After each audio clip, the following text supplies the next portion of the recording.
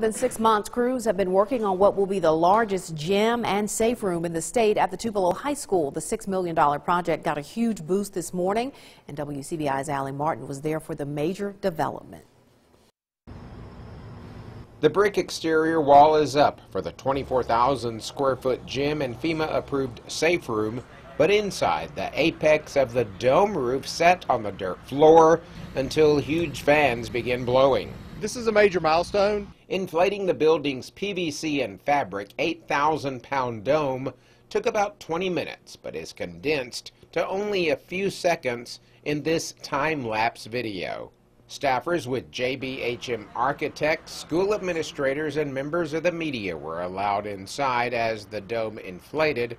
Tupelo High School Principal Art Dobbs says the safe room and gymnasium is a welcome addition to the campus. This is great. The, the number one thing that it means is the safety aspect. You know, uh, being able to put all of our students and staff in this building uh, and when bad weather comes gives you a, a great, great feeling that we, a great safe feeling. Although the dome has its shape, those huge fans will continue running for the next two and a half months or so.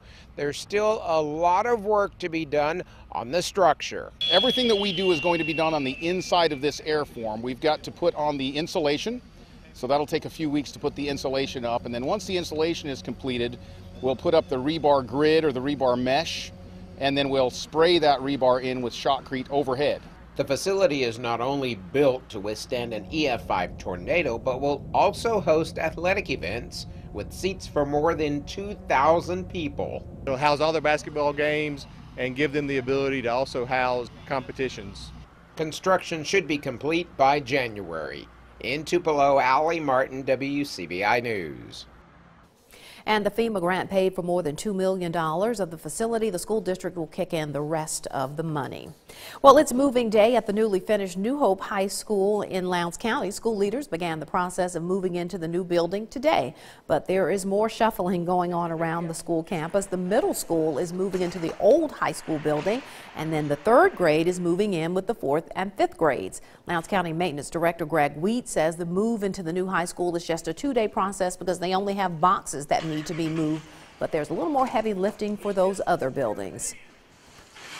Now we're moving furniture from one building to the other building, plus all the boxes. So it has slowed down somewhat, but I feel like if everything goes well, we should have the middle school moved in two weeks, and hopefully, hopefully, the elementary in two weeks. Now, if everything goes well. The district plans to have everything in place across the campus by early July.